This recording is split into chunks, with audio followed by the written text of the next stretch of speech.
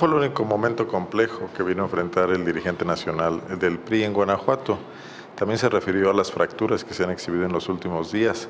Dijo que este partido requiere sanar las heridas internas, sobre todo de aquellos que se sienten excluidos.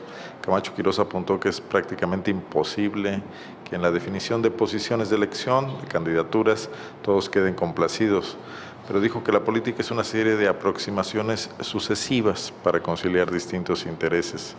Las declaraciones surgieron luego de que en semanas pasadas tanto el dirigente cenopista Roberto Vallejo como el setemista Hugo Varela se quejaran amargamente de haber sido desplazados por la dirigencia que encabeza Santiago García López en Guanajuato.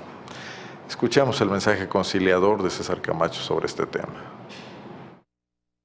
¿Ve desunión en el PRI de Guanajuato? No veo, veo normales grupos políticos que tienen como denominador común la militancia en el PRI.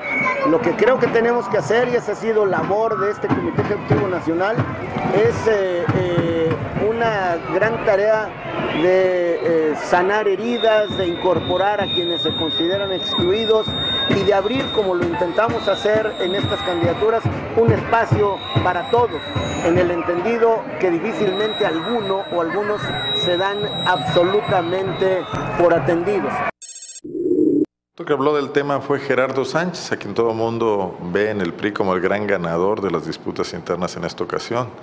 Dijo que en ocasiones toca esperar y continuar con el trabajo partidista más tarde.